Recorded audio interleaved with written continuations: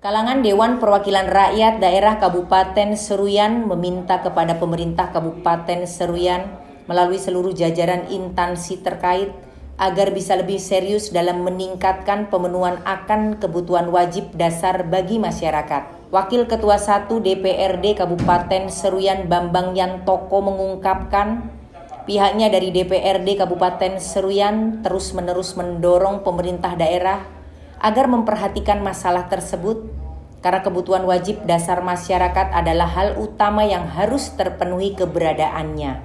Bambang menjelaskan, misalnya saja pada sektor pendidikan yang memegang peranan sangat penting terhadap upaya peningkatan kualitas sumber daya manusia atau SDM yang di wilayah setempat Lalu pada sektor kesehatan yang tentu saja merupakan bagian penting untuk meningkatkan derajat dan kualitas kesehatan masyarakat.